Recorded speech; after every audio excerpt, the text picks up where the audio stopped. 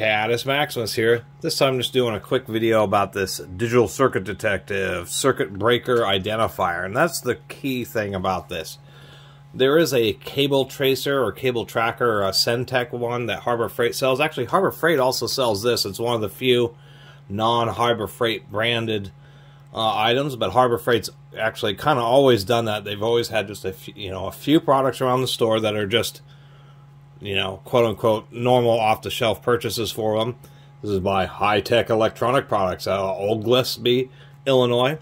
It did have a main China sticker, which I scraped, scraped off. Runs on a 9 volt, pretty simple.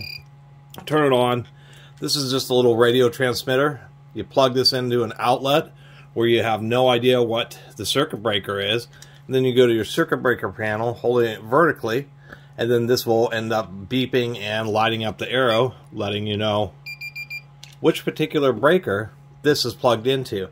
One thing is this does work on radio frequency, so if you plug this into a noise filtering power strip or a power conditioner, that power conditioner is going to filter out the little radio signal that's injecting into the power line and this device won't work. So this has to be plugged into the quote unquote the bare outlet in order for it to work. And this is just a little bit, you know, this is like a $20 item. It's just a little bit more elegant than the Cen-Tech uh, cable tracer. Although the cable tracer, I was trying to dig it up. I have no idea where I put it. But the cable tracer can kind of detect wires that are in walls and you can actually follow along. This really is just designed for you to identify what circuit breaker is associated with what outlet, or you can use one of those outlet to light bulb converters and use the same thing um, to identify what circuit breaker is associated with what light socket. Just to give you a quick idea, much, much more expensive, like $100 plus would be like this 3M Scotchtrak here. The difference between an industrial version and just like a homeowner's grade here, where this is just designed to uh, detect circuit breakers. An industrial one will have various levels of sensitivity where you can just search for wires, circuit breakers, or just rough searches where you can wave this around uh, against the walls and actually follow along with the wire. But it's just a more industrial version. That's why it has variable sensitivity as well as a signal strength set of lights.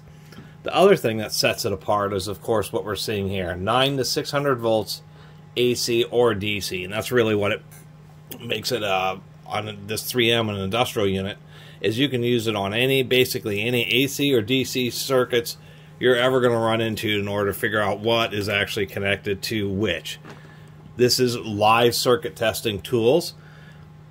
On this 3M, the one bad thing is it just has alligator clips. You're wondering, well, if I want to test a regular plug socket, what do I do? You have to get what's known as a suicide cord a plug that you plug in with bare wires that you can put these clips onto.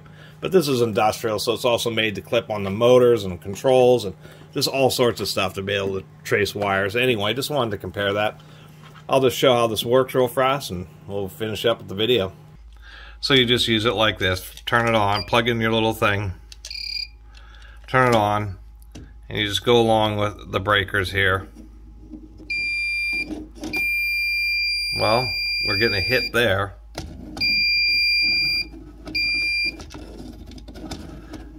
What's kind of interesting is it says on the back, make one pass to learn.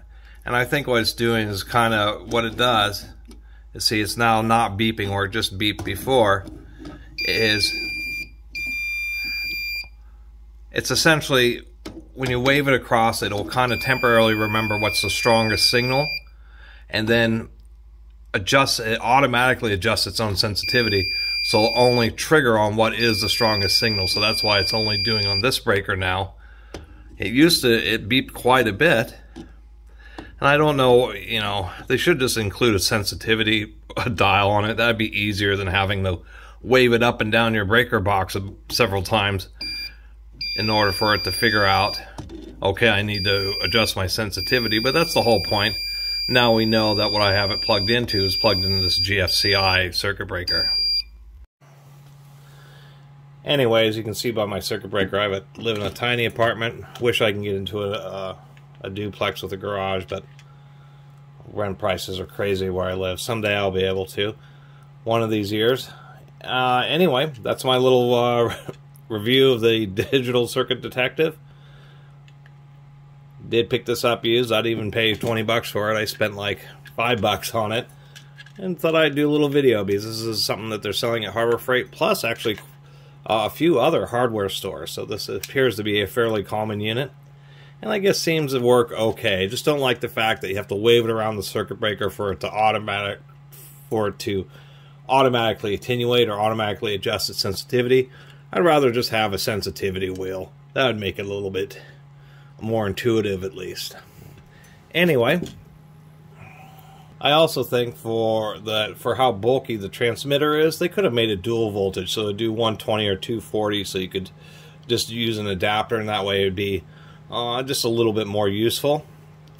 Anyway, really appreciate everybody who's been watching and subscribing, and if you haven't subscribed, please do. Till next time, Catus Maximus out.